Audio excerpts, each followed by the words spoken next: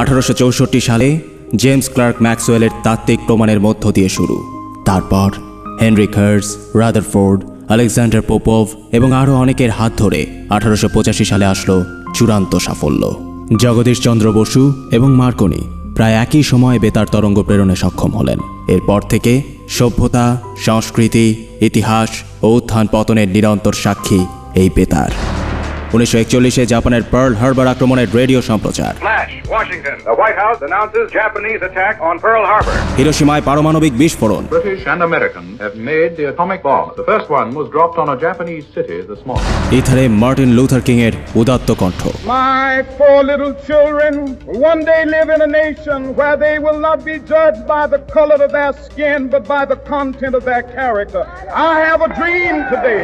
কিংবা মহাত্মা গান্ধীর soldier of peace বক্তৃতা I regard myself as a soldier, though a soldier of peace. I know the value of discipline and truth. ফিরে থাকাই এই ভূখণ্ডের ইতিহাসের দিকে যা এখন আমাদের প্রিয়তম জন্মভূমি বিজয়ের বহু বছর আগে উনিশশো উনচল্লিশ সালে ঠিক বিজয়ের দিনেই অর্থাৎ ষোলোই ডিসেম্বর শুরু হয়েছিল ঢাকা বেতারের পথ চলা নাজিমুদ্দিন রোডের বাষট্টি নম্বর বাড়িতে ঢাকা ধ্বনি বিস্তার কেন্দ্র থেকে প্রথম ভেসে আসলো ত্রিলোচন বাবুর কণ্ঠ। ঢাকা ধ্বনি বিস্তার কেন্দ্র। আর সম্প্রচারিত হওয়া প্রথম গান রবীন্দ্রনাথের জনগণ মন অধিনায়ক জয় হে।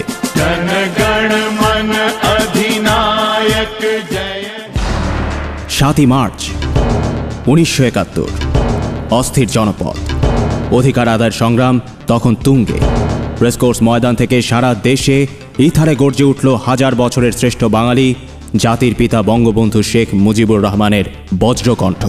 আর যদি একটা গুলি চলে, আর যদি আমার লোকের উপর হত্যা করা হয়, তোমাদের উপর কাছে আমার অনুরোধ রইল। প্রত্যেক ঘরে ঘরে তুল্ক করে তোলো।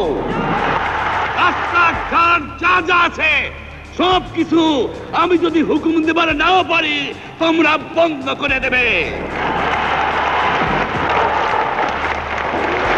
এবারে সংগ্রাম আমাদের মুক্তির সংগ্রাম। এবারে সংগ্রাম স্বাধীনতার সংগ্রাম। অথবা স্বাধীন বাংলা বেতার কেন্দ্রের চরম পত্র। পাখা ওড়ে মরিবার তরে। মালিকটা গেল তল পেঁয়াজি বলে কত জল আর জাগরণী গান